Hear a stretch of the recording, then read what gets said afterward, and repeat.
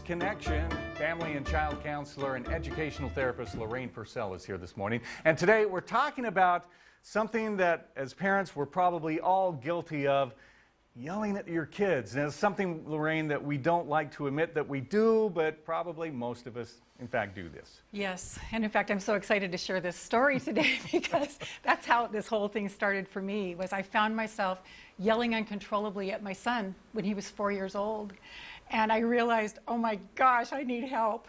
So I went to counseling for many years, and it, it You, wait, wait, wait. you, the counselor, Yes, went to counseling yes, for yes. this. Okay, all right. well, if the truth be told, that's the truth about most counselors. okay, all right. So you, you knew you needed some help because it was getting a little out of control. Yes. So tell me more.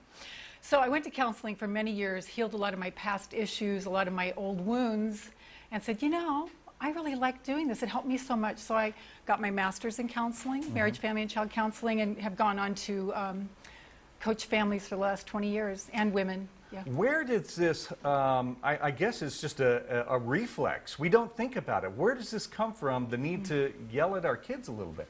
You know, it's what I call a knee-jerk response. Yeah. You just want, and it's before you even know it, it's out of your mouth. Yeah.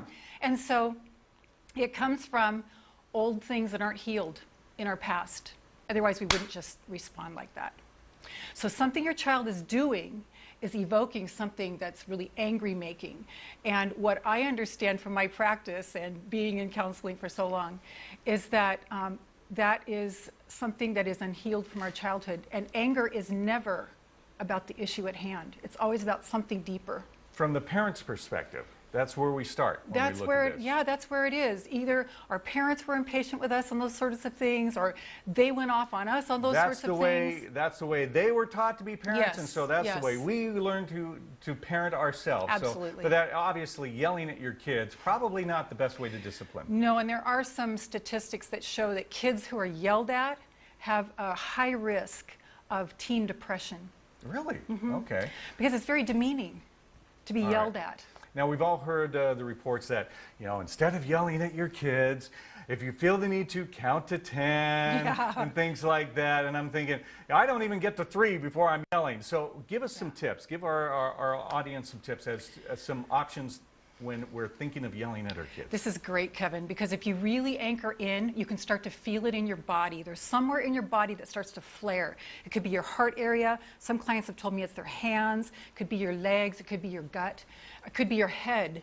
And you start to feel this flare go on. So it's a body cue that happens first before you start to flare. So when you get really in tune and you notice what goes on just before you start to want to yell, which takes some discipline and some rewinding, you might mm-hmm. want to go, okay, what was happening just before that happened? What triggered it? What triggered it and what in my body? So when you start to know the body cue, then you go, oh, there's that feeling again. Mommy needs a break. Mommy needs a timeout. Okay. And you just you just separate yourself for a few minutes while you breathe. Breathing is the best way to break that anger trance because it is actually a hypnotic trance. All right, we've got a, a- just a minute left, so tell everybody about the ebook you've written. Yeah. Stop yelling at your kids. Great title. Yeah, well, I love this ebook because I love parents knowing that that's where I started, that I'm not just this uppity parent mentor person, but I really started from that place. And so I wrote a 50 page ebook that's geared for moms to keep their cool. It's packed with tips on how to take care of you so that you don't find yourself yelling. Because that's what makes it happen. It's stress. Something's going on that's stressful inside of us. Right. So it's just packed with that. And that's at stopyellingatyourkids.com. We've got the information. We can put it up on the screen there for our audience. Again, stopyellingatyourkids.com. Lorraine, thank you so much. Thanks, Kevin. It was uh, great. All right, we'll be right back in a minute.